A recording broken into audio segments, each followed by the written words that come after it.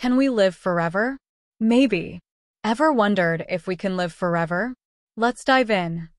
Scientists are tackling aging with cutting-edge tech like CRISPR to edit our genes and potentially stop aging. Telomeres, the caps on our chromosomes, shorten as we age. Extending them could keep our cells young. Caloric restriction and fasting activate longevity genes, extending life in some studies. Senolytic drugs remove old, damaged cells, keeping our bodies healthier longer. Nanotechnology might one day repair cells at the molecular level, fighting aging directly.